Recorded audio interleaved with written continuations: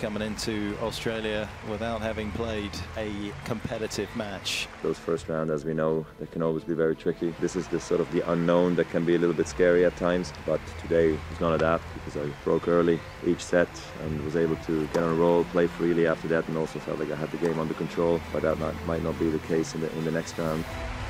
Any concerns that any Federer fans may have had given his lack of competitive matches are put to bed I guess I created a game that which allowed me to manage maybe all kinds of opponents, you know, that were ranked outside of the top 30, even if there is rust or even if there's nerves and so forth. But uh, no, look, I'm happy. Such good off-the-ball movement from Roger.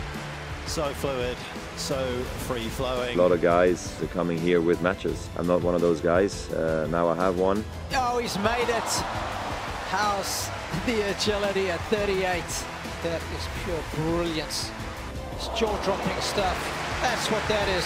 Federer looks as if he's playing a practice session. He it's does, all doesn't so easy for him. Just ridiculous. He is one of those rare athletes that can absolutely hold a show on its own. Even when it's this overwhelmingly dominant, it is still captivating. So I think for me, the, really the first three rounds are, are, key to get going, to get used to the pressure, just to stay calm if you're down a set and a break or whatever it might be, you know. I know other guys are playing extremely well right now, so I just think it's important to stay, stay very calm about things right now.